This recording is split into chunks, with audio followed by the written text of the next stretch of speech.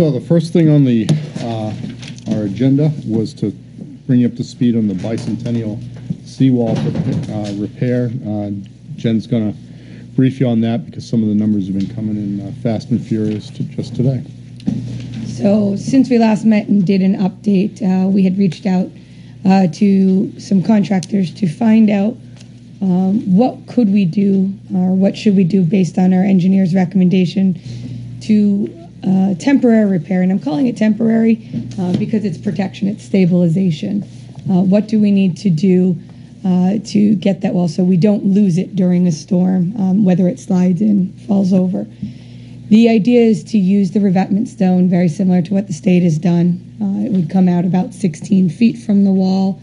It's large stone. It would be stacked up, basically be used for wave breaking um, and wave reflection at the wall base uh, in an effort to hold it there until we can get to such point in time to have a final design permits um, and a, what I'm going to call the final repair. So when I'm saying temporary and final, final being the the reconstruction.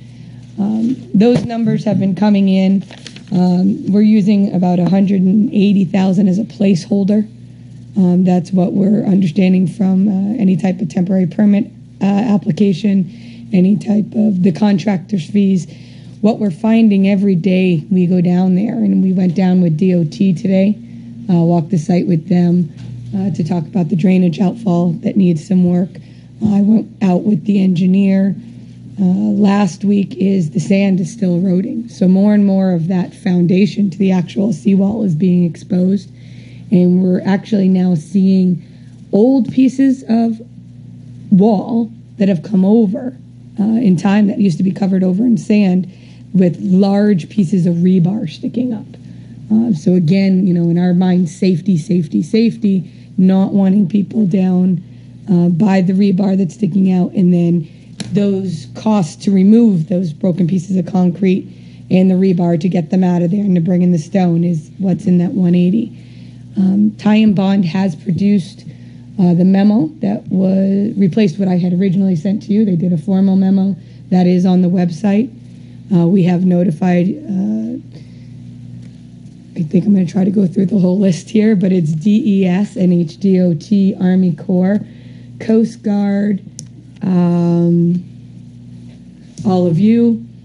And I know I'm missing someone, so I apologize. But we really to get out there and, and not just uh, to let them know that we're having an issue, but in the event that there were failure to ask for assistance uh, to, to, work with us uh, through the process. So with that, um, Tighe Bond has written a final report, so meaning everything in report form, uh, some old pictures of the old Coast Guard station, uh, the historical accounts, the concrete reactions that are going on with the existing wall.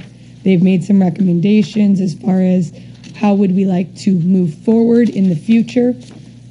Um, those are things that we just received that Chris and I will need to go through so we can intelligently bring the engineer with us uh, to, to show you those options. But looking to present you with this information and try to determine a next step. Um, the protection of the wall or the temporary repair at 180. Uh, that is a fee. To go into the design, you know, for the new wall, for what would be the permanent fix, uh, there's also a fee. There's the engineering, permitting, design. Uh, we'd be looking to do grants, uh, grant assistance. Um, and if you put that all together, it's about uh, 298,000. And then there's the cost of the wall replacement, which the engineers' estimates have come in uh, between, and depending on, again, the choices that we'd want to go through with you, you know, between 1.8 and 2.2 million. So that 2 million we gave you the other day was smack dab in the middle, but the uh, costs that have come in to match what they're recommending are um, in that range. So that's what we've been busy trying to get our hands wrapped around and do and uh, move forward. I think from here, Chris, what are your thoughts? We're, we're at a um, turning point. Um, I saw the pictures from two weeks ago. Um, I was amazed at the way the wall looks today. Uh, on the northern end where the ramp is that goes down to the to the ocean. There's a whole new section. Obviously, there was a wall there. There's a whole new footing exposed uh, that no one knew was there. Um, there's rebar exposed. Um, along the front of the wall, I'm even perplexed how to.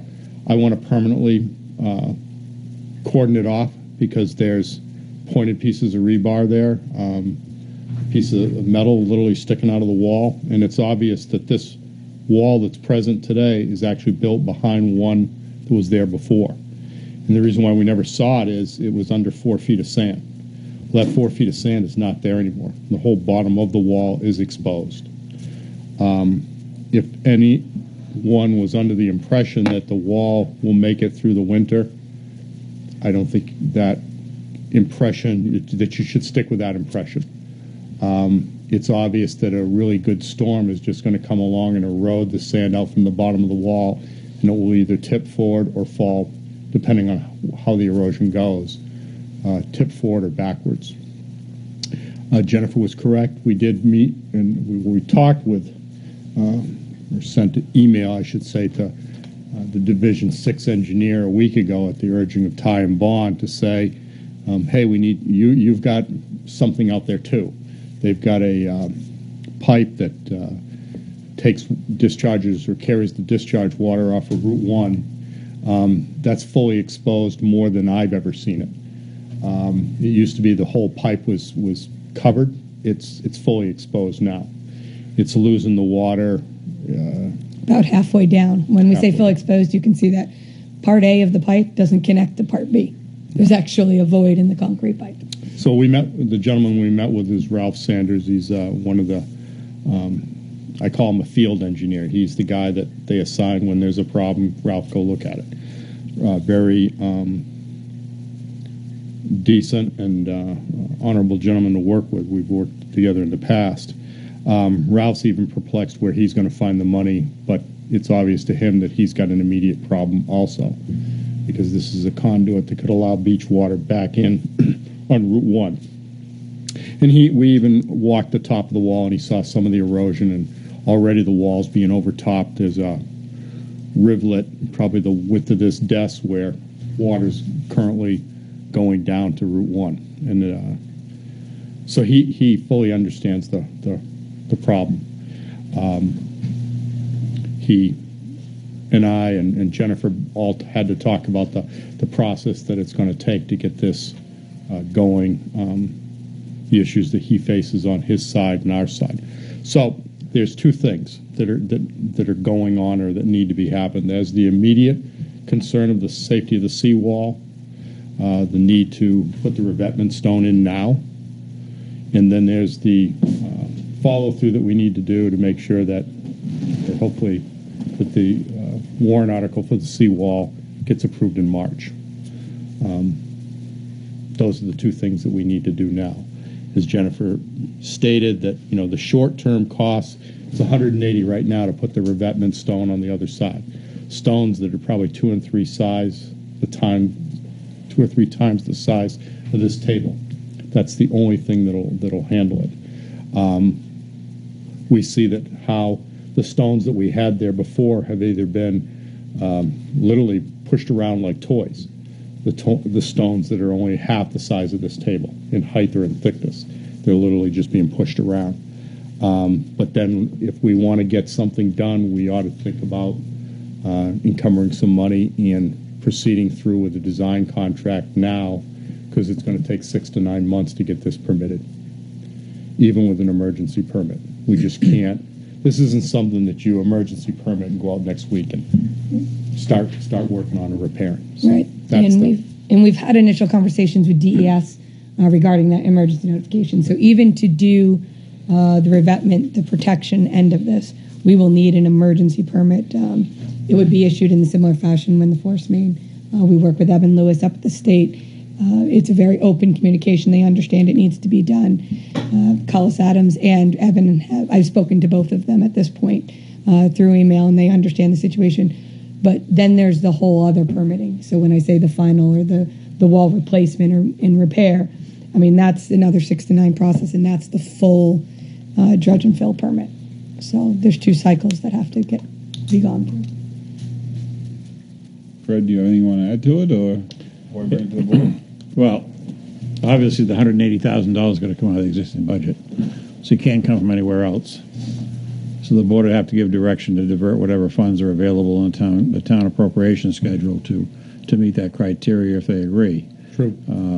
Two, uh, we will need all the information that's required to put together a warrant article. We already have an article, but uh, as far as funds are concerned and where they would be earmarked, uh, because I think that's fairly well important at this point in time. To you're going to have to um, basically build a new seawall, Yes. or it may not be there because you may not be able to get the riprap in front of it in order to protect it. So, can you get the riprap? We have, uh, and and we've spoken to multiple contractors um, that have the riprap. We have sourcing, the engineer's been working for it. Um, the, this this riprap is five to eight ton rock, and you know, trying. And I say it like that because he said that little rock, you know, that little rock move. So I mean, this is, I mean, you're talking four pieces of rock to a flatbed trailer.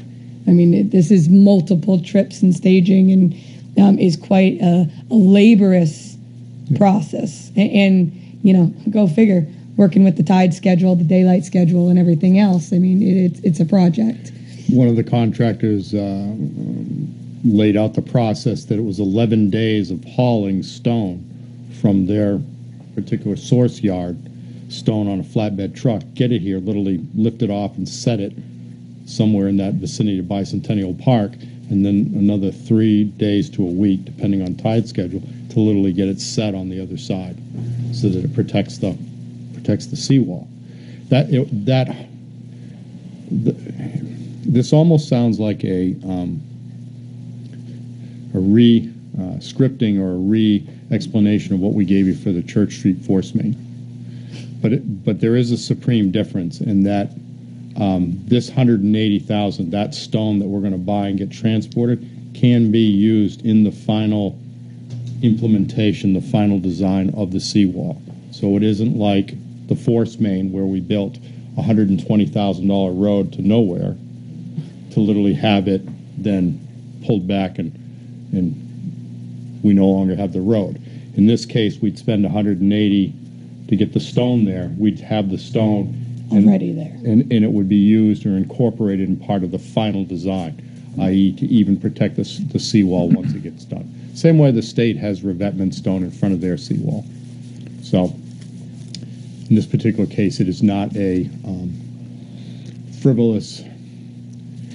Uh, It's not just a means to get somewhere, Yeah, it's actually exactly. part of the Right. solution. Right. It's not a ro- the road to nowhere. It's revetment stone for the final solution. Are you, you going to need um, heavy, uh, heavy stone, um, small stone, in order to uh, uh, bolster up the existing foundation of the dam, that's, uh, the seawall is there?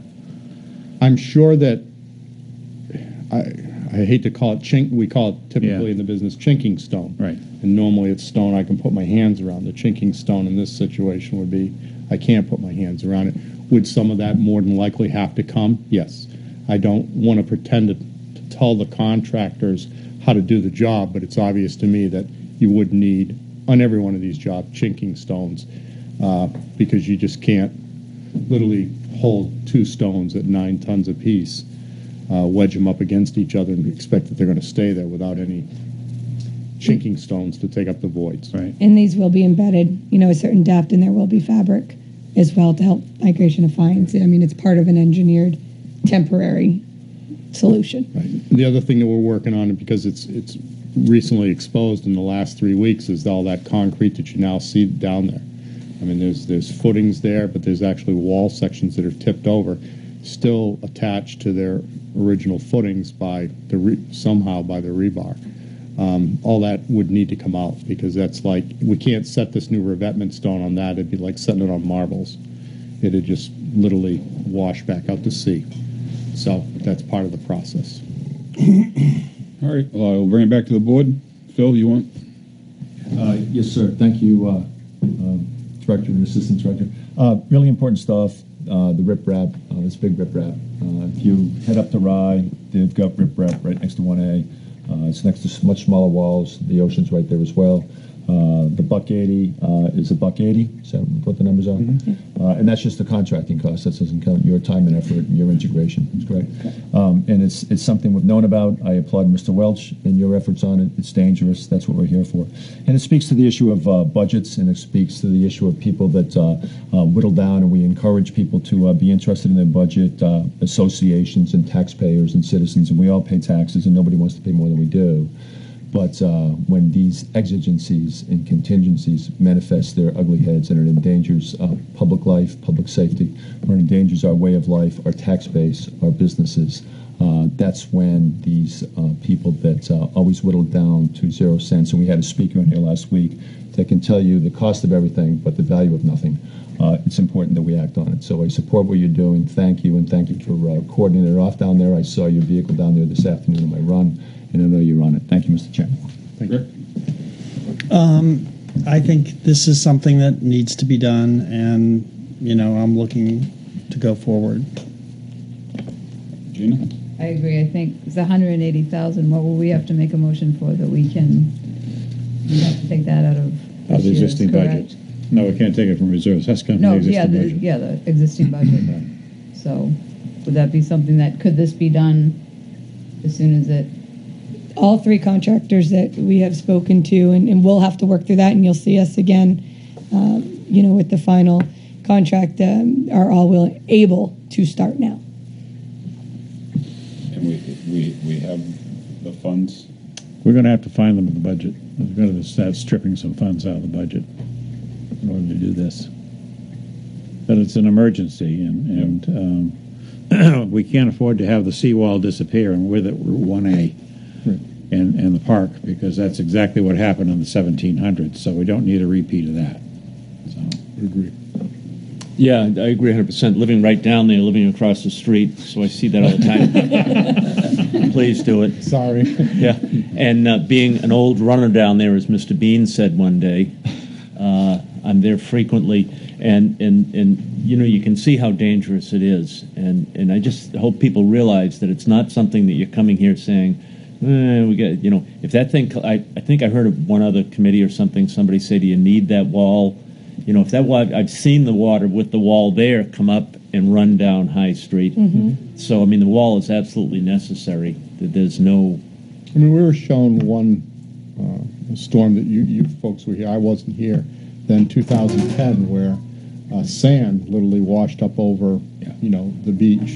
And the contract then in, in 2010 was 400 and was 400,000 yards of sand.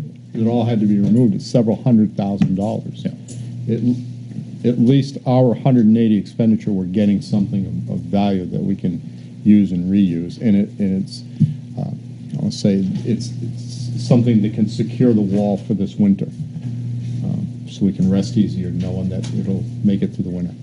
I will make a motion that we find some place in the budget, Places in the budget. place in the budget to get the hundred and eighty thousand to do the repairs or the revetment. second? All those in favor? Unanimous. Thank you. All right. That, uh, and that can happen, like you said, as soon as you can come back. We with will us. start working on getting the contracts pulled together and back to Fred and Christina to bring back to you for. And I'm sure tomorrow morning I'll be meeting with Fred to identify accounts and Well, monies and, that. and the finance director. And we, uh, you know, we, we, most of us have been down there and seen the work you've already done to secure what you have down there, and we, we appreciate that. I mean, it's, We, we wouldn't want to see people injure themselves. There's still walkers down there and joggers and, yeah, it's, uh,